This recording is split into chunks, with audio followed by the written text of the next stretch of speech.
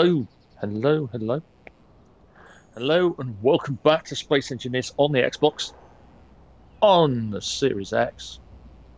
And this tutorial is all about the new armor plates.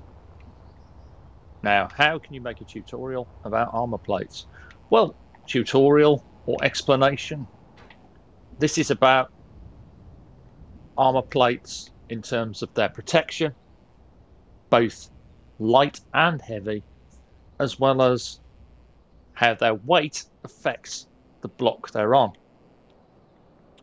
But if we talk durability and we pop out the S10 pistol, on the left hand side we have a light armor block on the right. We have heavy armor. And if you know anything about the way Space Engineers textures things, it textures heavy armor differently to light armor. So if you pop out your welder, you'll see the light armor block and the heavy armor block. So if I blast off a clip of ammunition from our S10 and then pop that, you'll see that one clip has caused 5% damage to that armor block.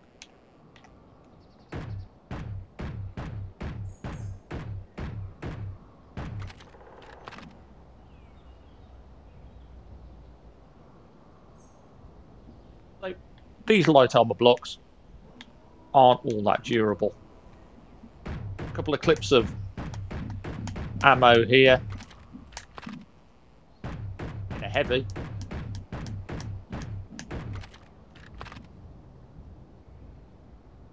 see that it's barely scratched the surface compared to an almost 10% loss on this one.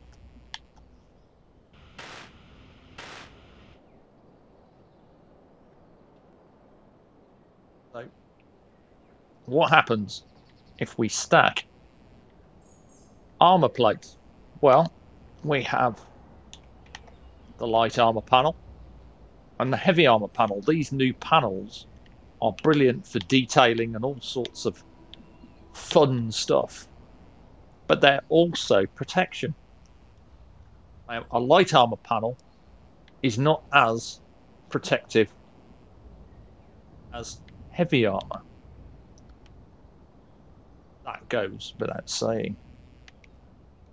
But it's an extra layer of protection on top of the block under it.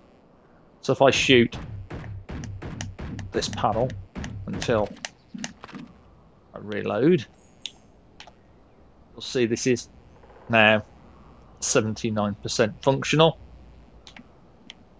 If I do the same on a heavy,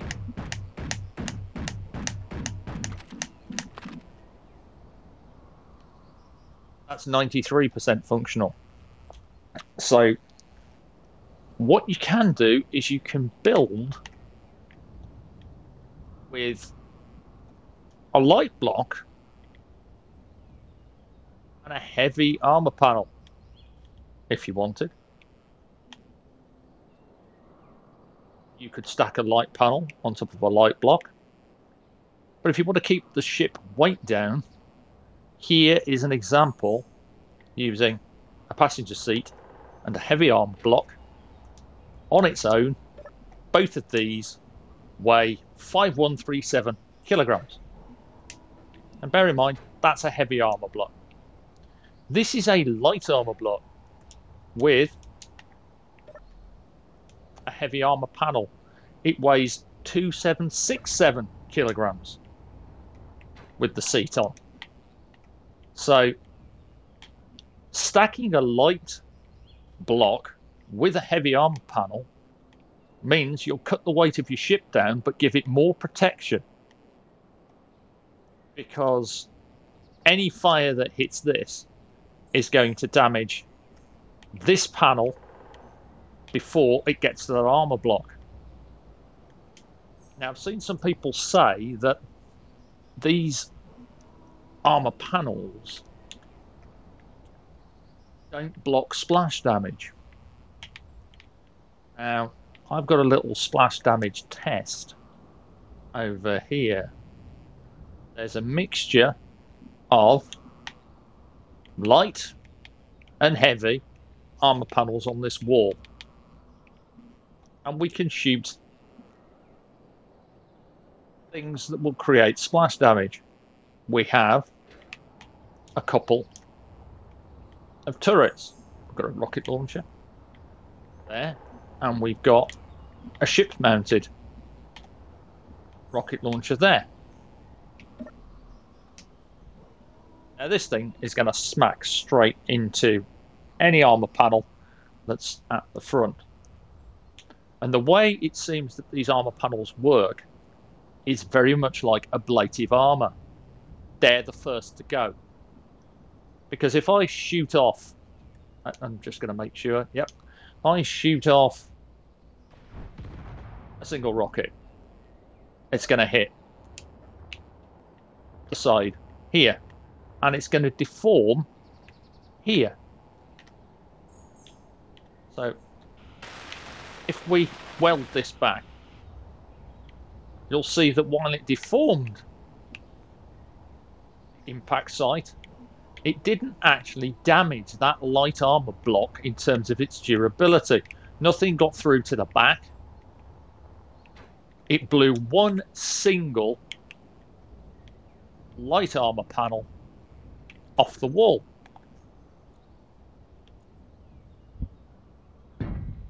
back and I don't care about the colour. So it blew one panel off, and that was a rocket from that thing.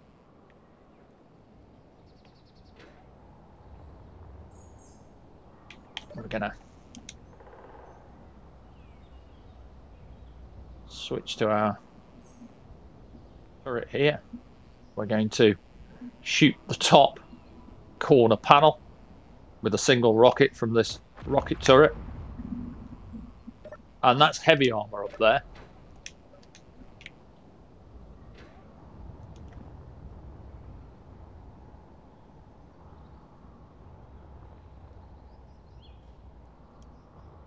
Well, that's interesting. That didn't seem to cause any damage, so... Ah, there we go. It did a bit.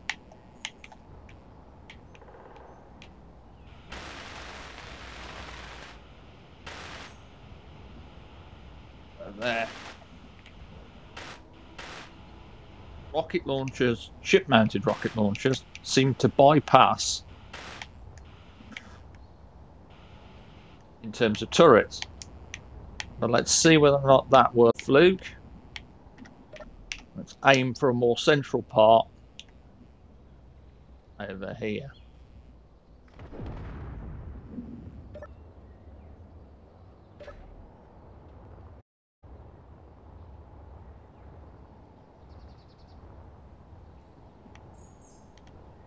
So no deformation here, none at the back this time one panel.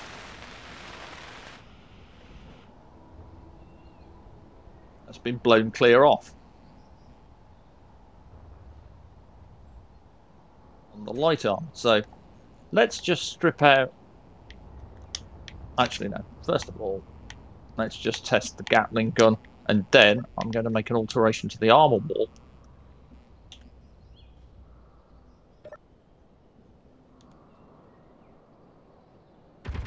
hammer the few plates here and there. The Gatling gun.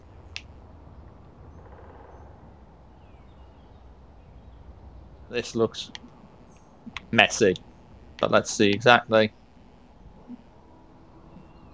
what's gone on.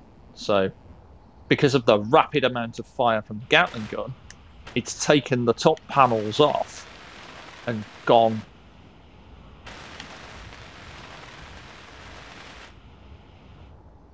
into the armor blocks beneath. Obviously ripping through the light armor panels much quicker than it did. These heavy armor.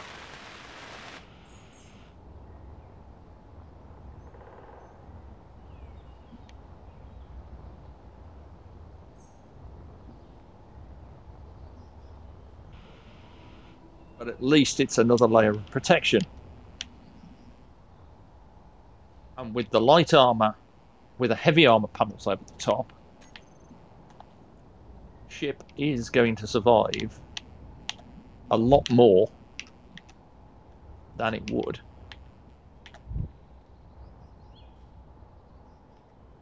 otherwise. Just that back. Some heavy armor panels. I don't care about the colour, as I said.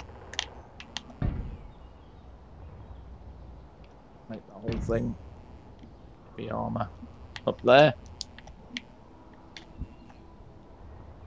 Now I want to see if I encase the side here and the top.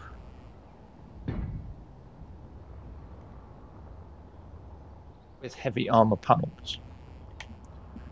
Will the turret do the same thing it did last time and deform the blocks beneath? I'm just going to fire one rocket in roughly the same place. Let's see what the damage is, but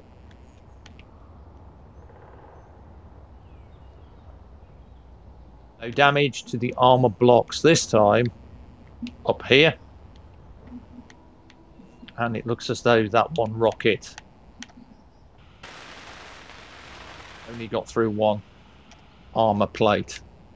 So, that's pretty good.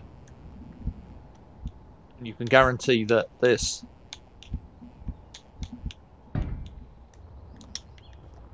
whole wall here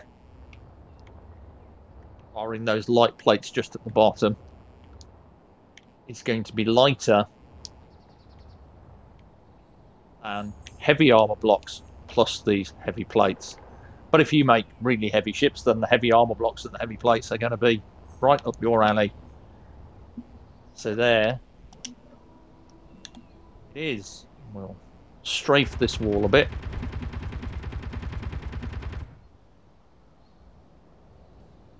that and then we'll shoot just until we hear the bang and check the damage. This. So, as you can see, our armoured wall has only deformed slightly, no actual structural damage has occurred, and only two plates have been lost. If we give it a good old salvo from our rockets, actually let's put those plates back before we do that, otherwise that won't be fair. Give it a salvo from our rockets.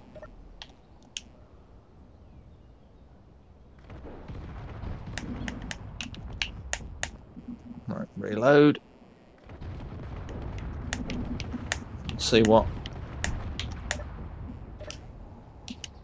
I mean, you can test this as well.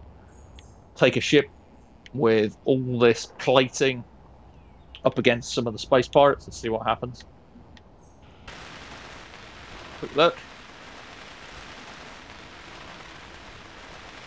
If you notice, the integrity of the armor blocks themselves hasn't been altered this time. Because we've got lots of plating all connected up. There you go, one or two blocks have got altered there. But it did take quite a nasty blast from the the salvo.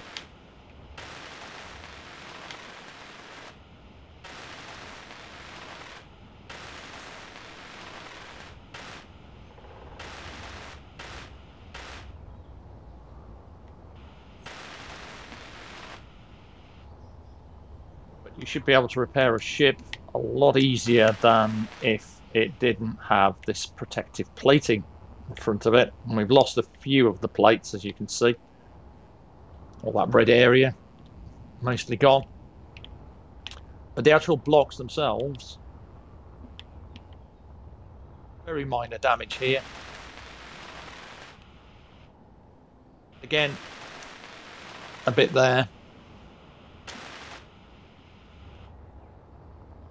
So don't expect it to be a foolproof solution to protecting your ship, but it's going to give you another layer of protection, and that's the most important thing. Until we get something like energy shields, maybe as part of Warfare 1, at uh, Warfare 2 or 3. You never know. As I keep on saying, they would have to be built into the game because the current energy shielding uses client-side scripting and at the moment the Xbox isn't allowed to use any client-side scripts and any scripts at all that are server-side have to be run on a dedicated server. There it is though, that's my look at armor plates, the armor panels, durability of armor blocks, the weight of a heavy armor block compared to a light plus a heavy panel. I'll be interested to see what kind of ships you build in terms of uh, protection with this particular set of plating and also just how uh, you can use those plates to make interesting looking designs for ships. That's all from me. As my voice is starting to vanish, it seems. Take care, stay safe, have fun, enjoy the game. I'm pretty sure we'll hear something soon from Warfare 2, but we still got fun stuff with heavy industry. I will be taking advantage of this gantry, which uses some of the blocks from heavy industry. When I do my build for my hydrogen demonstration on large grid, you've seen me do it with the small grid ships for atmospheric and hydrogen and iron, but I want to go through some of the concepts that I use when building a large grid like the Callisto 71, uh, which I built in space because it was easier to maneuver around that way. Until then, though, bye for now.